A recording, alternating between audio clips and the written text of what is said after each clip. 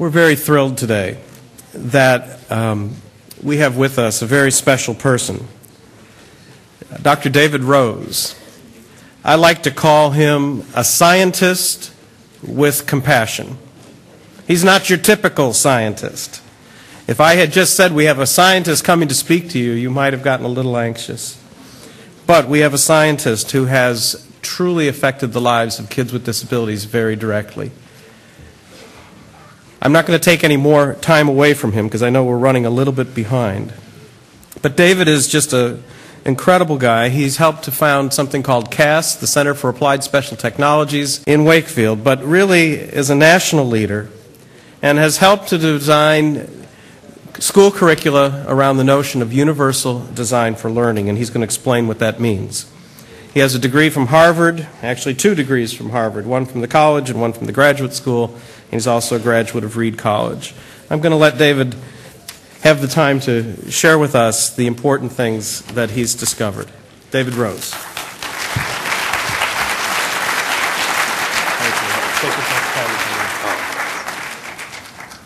Uh, thank you. It's wonderful to be here, and uh, it's great to see uh, a lot of old friends. And uh, we learned a lot from uh, the O'Hearn School as well. It's great to see a film uh, Bill and all of the staff there.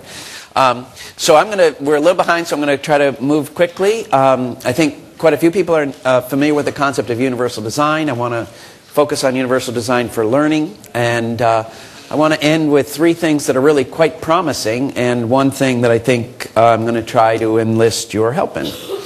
Um, but just to make sure we're all on the same uh, starting point, I'm just going to start with the concept of universal design. I apologize, lots of people are pretty familiar with it. But here's the school we used to work with um, in Peabody. Here's the entrance to the school. And as you probably know, the, the stairs here are meant to be an access technology, a way to get in the building.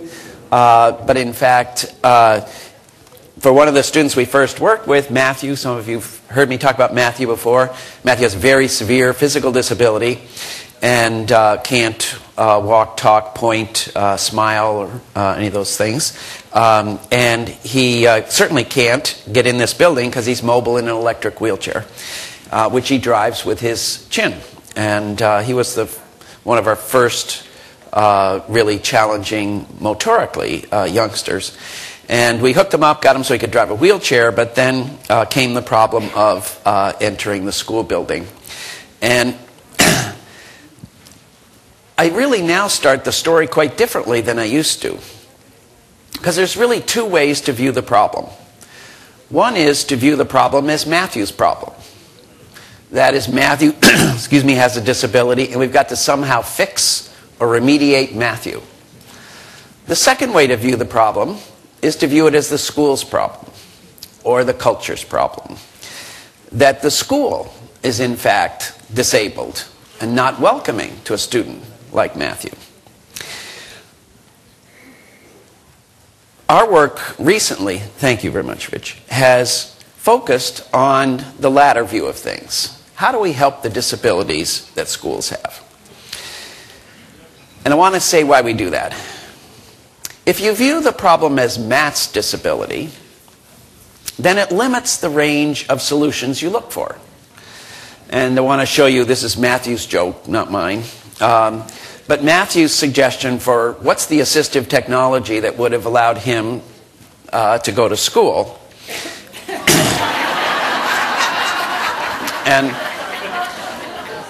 uh, the thing is that Matthew understood that uh, he was very computer savvy, drove his wheelchair, and did all of his communications through computer. Um, and he knew that inside this big instrument was a computer, and that with the computer inside he could drive it.